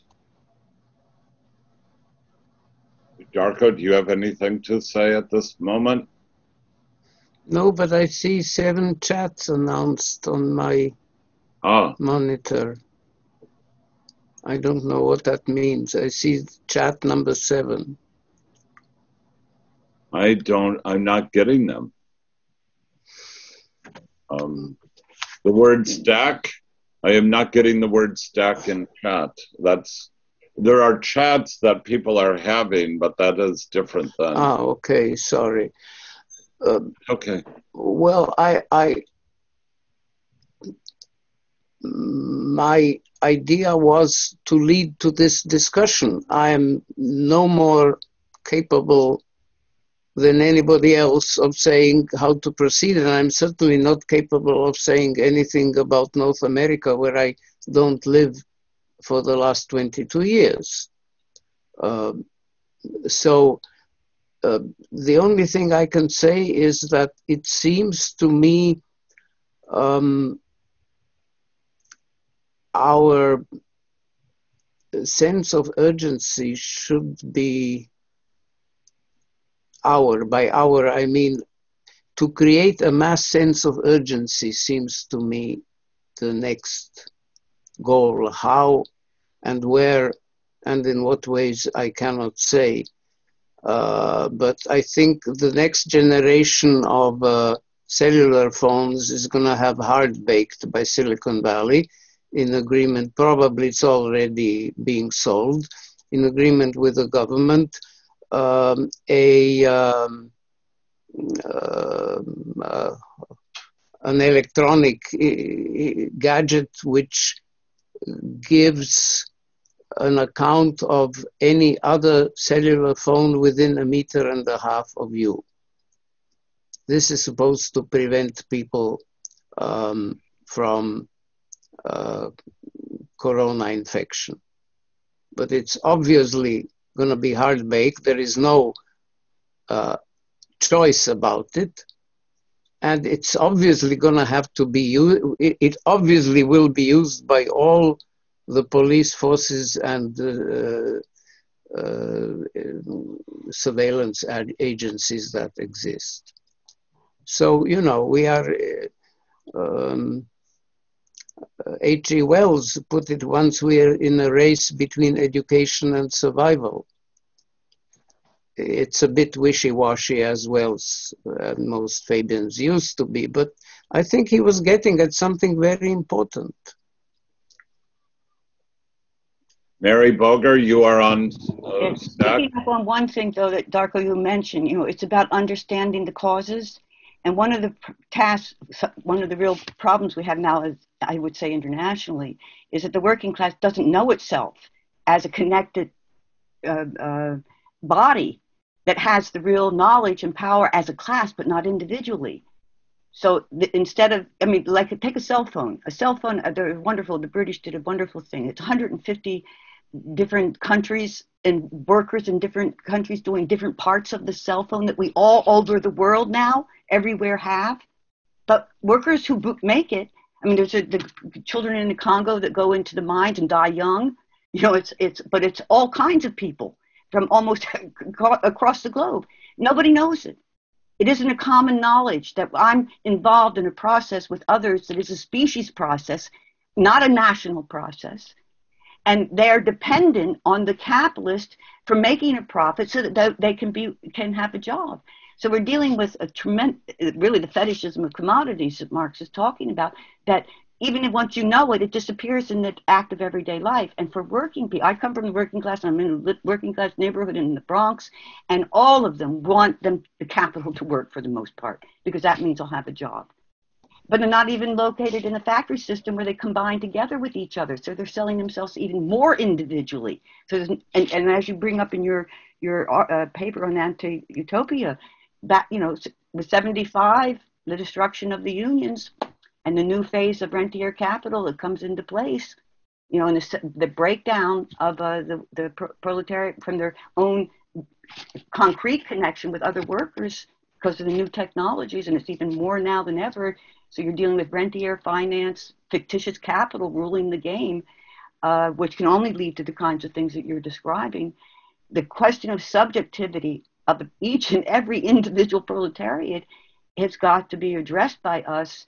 And how do we go about creating an international dialogue for that process to happen? Because here in the States, uh, we're moving, a lot of the proletariat is going to be won over to anti immigrant, anti all kinds of stuff more than ever and and, uh, and most of the violence now is internal within the class itself against itself, not towards the towards the um, uh, the ruling class. It's criminality, it's abuse. Oh, it's children shooting children in the Bronx. You know, 15 year olds with guns. A kid comes out of school and shoots them.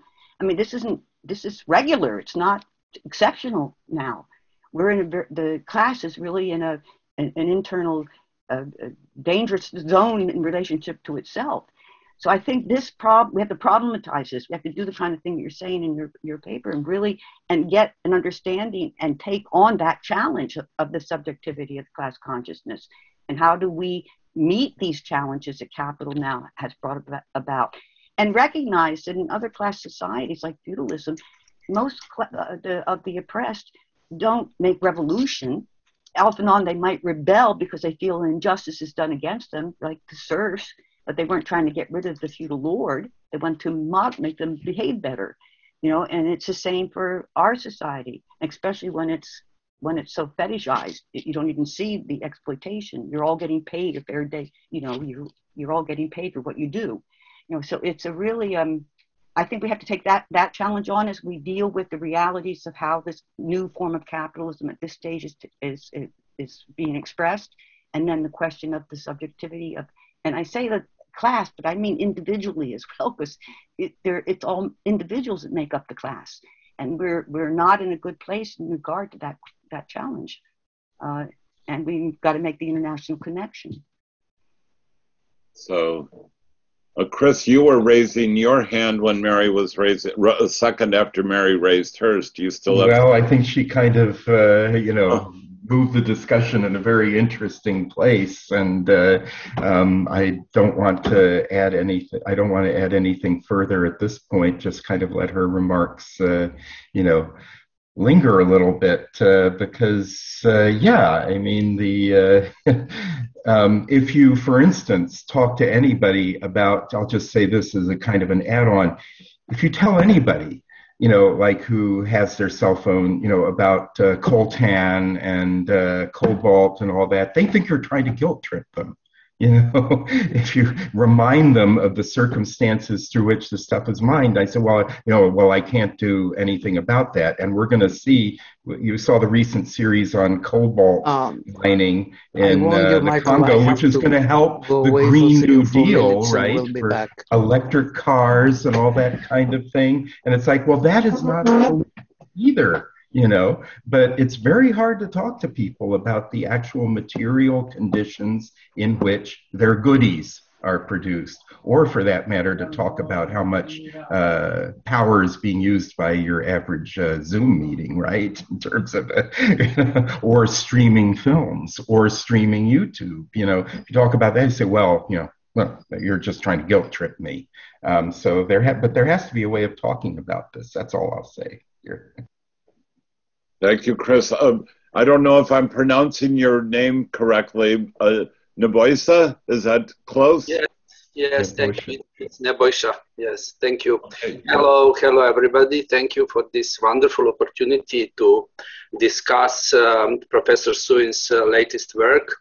I had the pleasure to read the first part and uh, the poem, uh, the translation of uh, Brecht's Point to the Half. Uh, so I just uh, want to present maybe a possible, let's say, topic for something that we call in a reading group in which uh, professor participated kindly once last year. We have a reading group called uh, It Is Not Dead Stone, Sisyphus.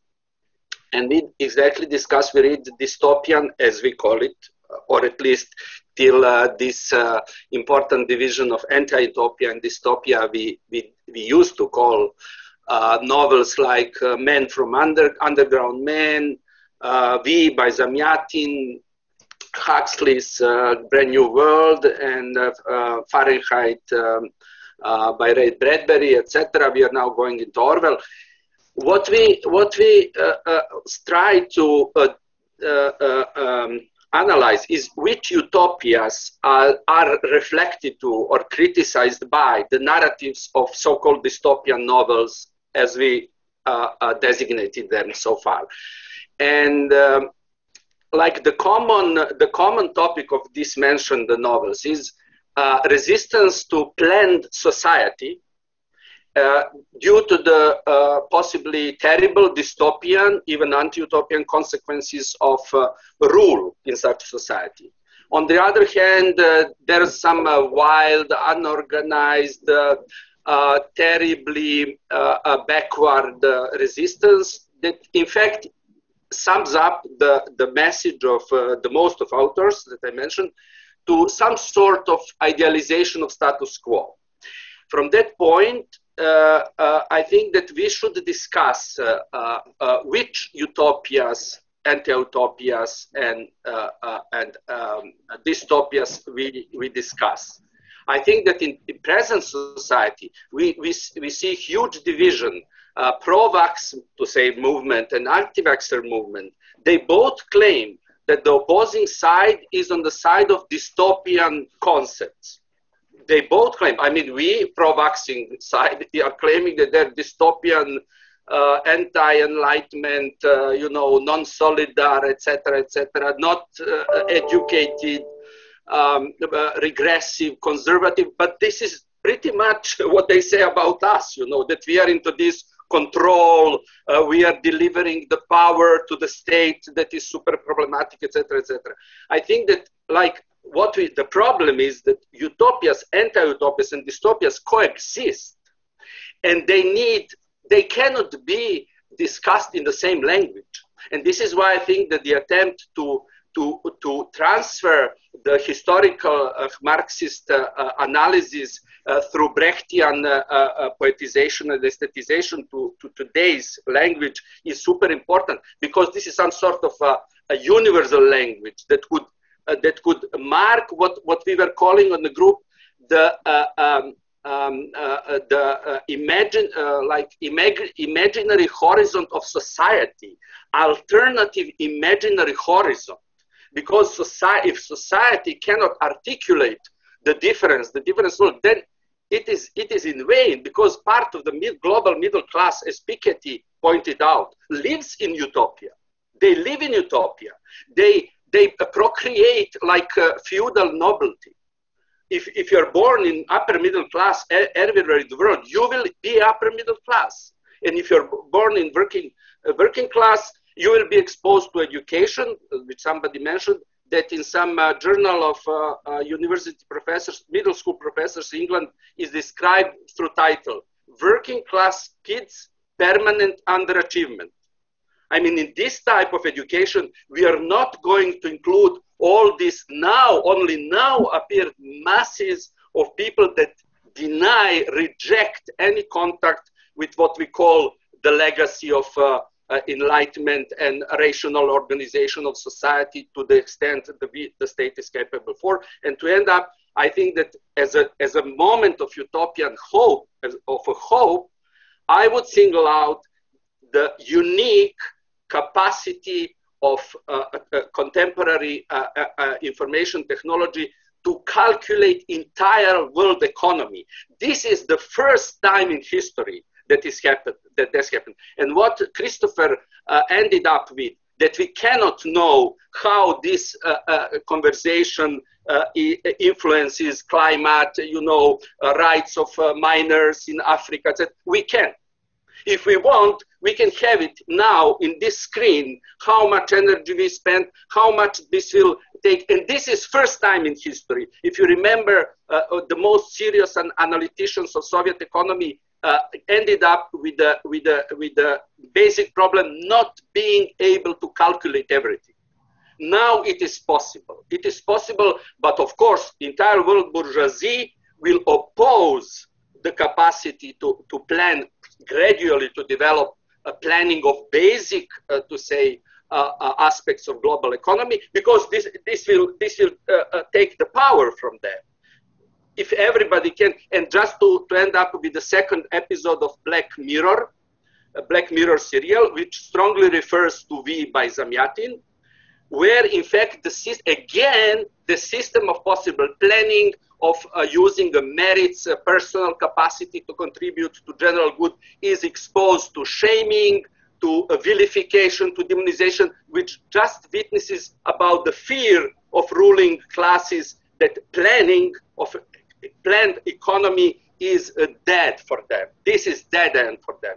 And this is all today's uh, uh, like uh, ideological uh, weapons, weaponry will be uh, focused to capacity and possibility of universal planned economy.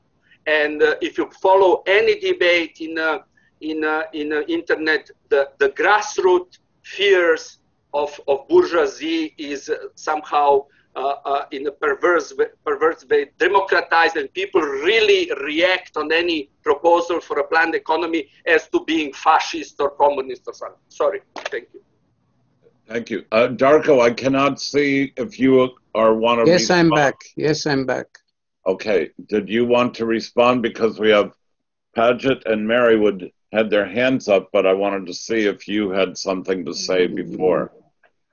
No, I, I think at this point, uh, this is a, uh, the idea that I think Michael, you and I had, and then Chris and so on, is to have exactly this kind of discussion. I don't mean exactly this, but I mean this kind of discussion. Yeah. Uh, and all I can say is, uh, in order to end on a positive note, please be good enough and uh, read my poem, which I won't do now, uh, My Lady Hope, which is at the end of the Indian book. I will and have... If anybody wants it, I can I can send it. I, I, I was prepared to read in that. Ten, in 10 minutes. In 10 minutes, not yet. So Paget, you had a question, and then Mary, you had a, your hand up. Yes, I just wanted to amplify uh, something that Mary was saying that not only do we need to work on the subjectivity uh, of, of, of the working class, but we also have to work on gaining greater control of all of this technological knowledge that is coming down the pike. So I was very heartened uh, when the new head of the AFL CIO, I'm blanking her name, but she wants to carry out this project with MIT to create a Workers' Institute of Technology. And her goal with this institute is to focus on AI and 3D printing.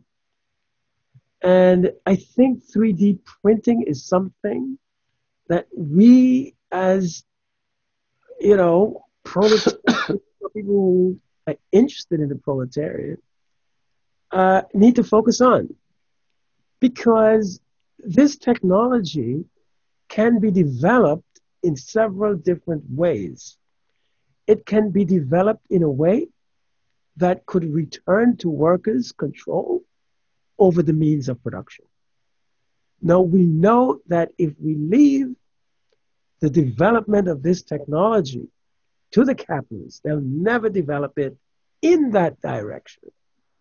It will only develop in that direction if indeed we have people with a worker's perspective, right, in the process of developing this technology.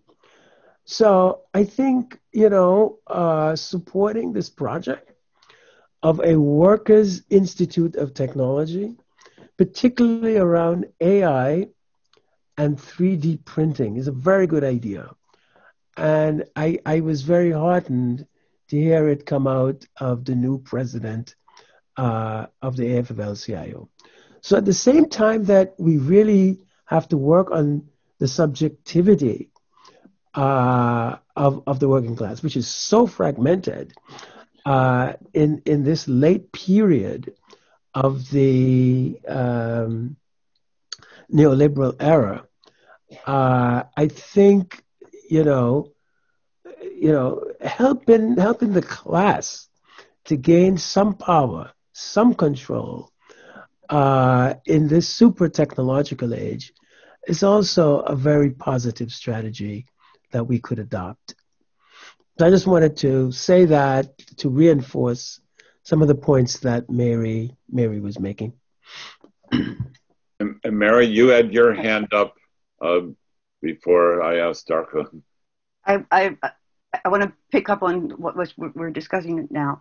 Uh, but I want to begin by saying one of the things that came out in today's discussion about Marx and in praise of the, of the capitalist is that, and this we this is the reality today. We are a global species now, interconnected at the, every moment of our lives with each other. That is due to the capitalist accumulation process. That has made us so that we have science that we can know, every one of us can know and understand our world and work on the problems that arise as we as things change over time. We have, as a class, the ability to do all that. And I mean, when I say the working class, I want to use what I think is the original notion of the proletariat. It's all those who don't own the conditions of production. So that even includes the professionals, unless they've also been able to get stock, stocks and, own, and be owners. But all in our, as a species, the, the class, the, not the capitalist class, who owns all the conditions of life and the conditions for production to go on, but the knowledge is in all of us as a combined species, and it's global. This is what capitalism has achieved in the sense of a historical transition. The possibility of a classless society, it puts that on the agenda for the first time in human history. This is the challenge. But the working class, the proletariat of all its stratas, from the permanently unemployed to the top of the of the professions don't see this as a class. This is where our power is, though, and I think this is what Darko you're getting at. You know, when you end the one poem, my lady in the uh, is it the Lady Hope, you know, uh, the other one, you know, you say the insurgent four whales that bear the world with robust love must turn it upside down. Who are they? Women, learners, lovers, workers. It's in all of us, but we only know it together. We can't do it any other way. So we don't need the capitalist. I mean, this is, I'm just talking objectively. I'm not talking about the, the reality that we're in and if this can even happen. I'm not a, I'm not romantic about it. We're in a dead end right now. We're in a very bad crisis. Humanity and nature and everything is in crisis. But the possibility is that we actually have the capacity to do it. How do we make that known to us all so that we can act rationally, clearly, and know what we're doing? Because it's all in us. There's, they don't have it in them. They have, they're accumulating capital.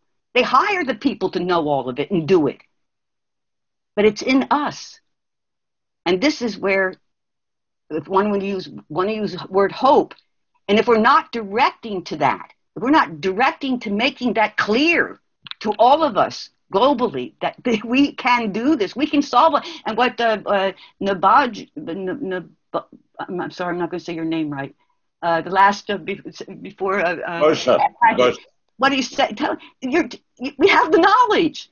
We, we know we we even we've already known it. We have GNPs all over the. We know the annual produ- wealth is produced. We know its use value. We know its value. We know, and we can we know what it takes to do it, the time it takes to make things, and so on. We can reconfigure what we do together. We can do it.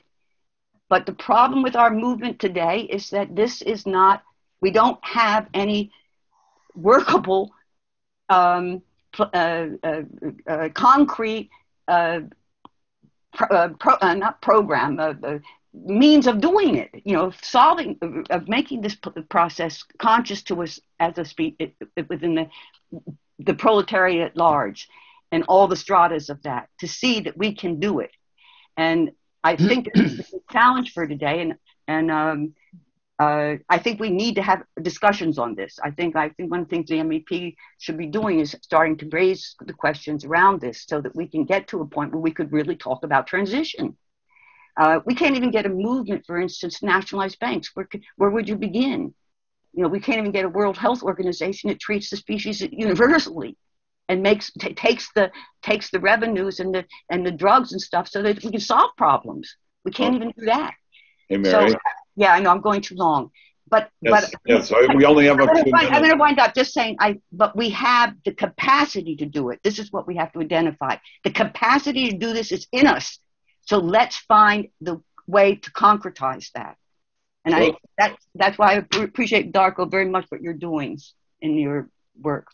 You know, the, the time has not passed. If we look around the world, workers throughout the world are refusing the conditions. Yes. It is, we have no international left that is getting workers to unite on this, but it is going on all over the place in the high professions, in the, the, the most menial death giving jobs there are. There is a refusal to to do this uh, by a large number of workers and from all strata. But we only have a few minutes, and I, I think that it's great that we do now have the chance. And I had Mary prepare a reading of Our Lady of Hope, and I think we should do that now as a as end of part one of this great book that Pratyush, Niraj, Javid, and Darko put together. I will. I said that it is available on Amazon, but you can find it at A Books wherever. This book is available. These poems, the long translation of Brecht's Das Manifest, the, the various essays are available. We will follow up on this. And there is a kind of follow up I did not mention while it's not on our site. The program is not completely together, but in a few weeks, Darko will return with Patricia McManus, Eric Smith, um, and, and others uh, uh, Hugh O'Connell to talk about a new book, Disputing the Deluge, which uh, are, is just coming out right now. So look at our site tomorrow or the next day, you'll see that event. Mary, Yes. Our Lady of Hope. I dreamt of Lady Hope tonight. She smiled on me so sweetly, fair as in days of our keen youth, when she kissed me very sweetly. Where did you go, my lady, my love? What country saw your features? Your flaming gaze, your sunburnt hands, your reach to other futures. I've always been here, young man of mine, here where the wise can here where the wise can see me. You grew up and lost your keen eye, and the faint are not able to see me. We must all grow up, my lady, my love. How can I again see you? Remember how knowledge led you to love? Hold fast to that, and you'll see me. But you're no longer a girl, my love. Rosy as dawn and eyes shining. We all grow up, old man of mine. I'm a woman now, eyes shining. Poem, Darko. Pratyush, do you have any final thing to say? Because you're all the way here from Delhi. And last year you taught me that we need to, instead of clap, raise our hands in jubilation that we find each other in moments like this. Uh, is there anything more you would like to say? Or Niraj, do you have anything more you would like to say? You need to unmute.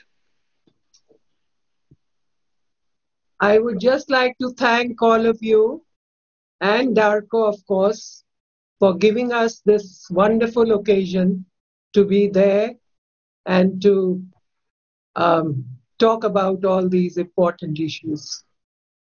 Thank you, Niraj. And you know, Niraj, that I send my love to you and Javid and uh, what I what I used to call your kids, which are now elder gentlemen, your sons.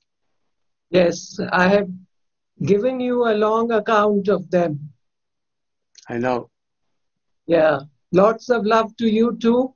Somehow Javed's um, um, video is not working, but You we'll have him. occasion. We'll have occasion to talk to you some other time. Okay, And thank you. Could you uh, read what you wrote on from Bloch for us, please? Yeah, yeah, yeah. So I just sent it to everyone so that others might have also read it. So Okay. I, this is this is a this is uh, the beginning of uh, Ernst Bloch's um, Spirit of Utopia. So I will just read it, and because lots of discussions are actually going around this. So he says, "I am, we are. That is enough. Now we have to begin.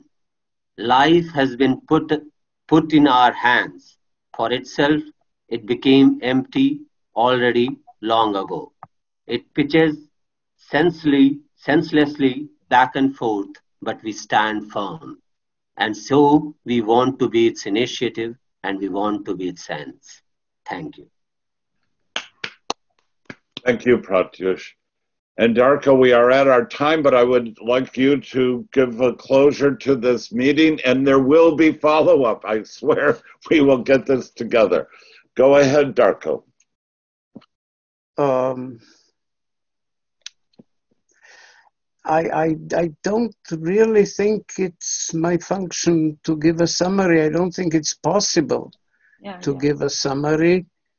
Um, it seems that we are a kind of pre-selected audience and more or less in agreement uh, that there is an emergency and, I, and that we have to do something about it uh, before our children and our beloved uh, die on us and so on. uh, or we ourselves. Um, eh, obviously, there is a huge discussion. There is a forking of roads. You know, I have written a lot about it. Uh, do we want movements? Do we want a party? In my opinion, we want both. Um, how to reconcile this? How to use the lessons of um, the negative lessons uh, of Stalinism, which must be used, uh, how to use the positive lessons. Uh, nobody has spoken about, uh, say, uh, some of the good things that happened. Uh, because the good things are small and far away from us, you know, they are in Chiapas, or they were in Fidel's Cuba, or they were, you know, but surely we have an awful lot of stuff to draw on. Uh, the problem, I think, very crudely, um, I remember in his last book, um, um, well, I shall skip that. The problem, in one word, is power. By this, I don't mean violence. Violence is class power. I mean power which is necessary in any community, power of decision. Okay? Hmm. Uh, the whole huge apparatus of modern capitalist society is organized to prevent plebeian power. It's not going to be easy. But sorry. Thank you we are at the end of our time for today. See you all back here on December 12th, Sunday, the same time. It is 10:30 New York time, which you will uh, uh, find. I will put that event online. And and I now that Pratyush is showing. Last year you did this, and thank you, Pratyush. Thank you so much, and thank you, Darko, and thanks to all who made the time to show up today. We shall meet again, and and uh, that's it. Thank you. Thank you. Bye, Darko. Thank you. Bye, Darko, and thanks everyone Bye, from Darko. us. Thank you.